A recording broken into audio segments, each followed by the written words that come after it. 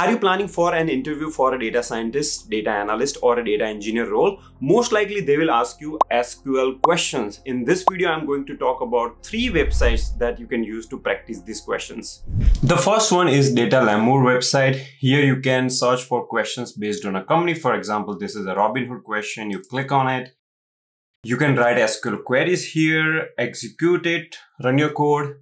Also look at solutions. You'll have to create a login, but this is a free website so these are the practical questions which are asked in various companies. And if you're preparing for any company, let's say Amazon, practice those questions and it's going to definitely help you in your interview prep. The second resource is a website called Strata Scratch.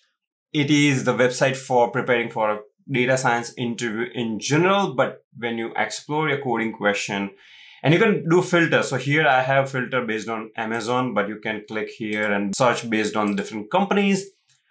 Let's say I'm looking at this question from Amazon. Once again, I can write a query, run the code.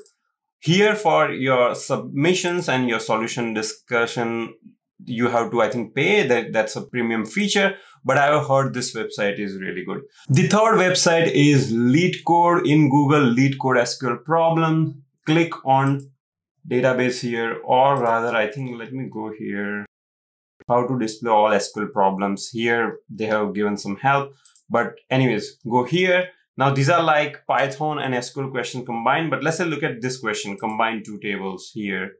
And you can write your SQL query here. For example, they give you person and address table and you have to write a query. You can also run the code and see the result. There is a solution here as well. It is all free and you can look at solution approach. You can also participate in discussions, you know, and these discussions will help you clear all your doubts.